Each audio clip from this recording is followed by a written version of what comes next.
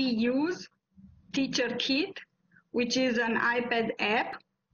And this iPad app helps me to uh, keep track of students' attendance, their assessment progress, and I can also write behavior comments in it. Uh, the other tool that I would like to mention is called uh, Pear Deck.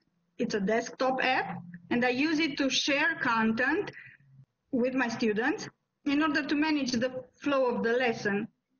Um, my students use Pear Deck on their mobile devices, and uh, they receive from me multimedia content, and they participate in activities, collaborative activities, assessment activities that, in my opinion, are engaging.